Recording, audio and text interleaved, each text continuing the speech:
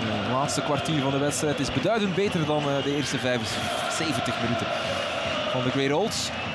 Miyoshi, tweede paal. Daar is Sek. En daar is nu wel het doelpunt. En deze keer gaan ze het niet kunnen afkeuren, denk ik.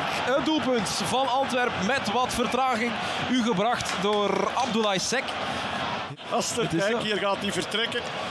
Moet ah, kan nooit bij die bal. snapt. Nee, nee, volledig eh, misrekend. Al de tweede keer dat hij het verkeerd inschat. Van Krombrugge. En Sek, ja, dat is makkelijk voor hem natuurlijk. Even springen, Ja. goed binnenkoppen, dat Ja, wel. Boven Murillo. In bewegingssec, dus altijd in het voordeel.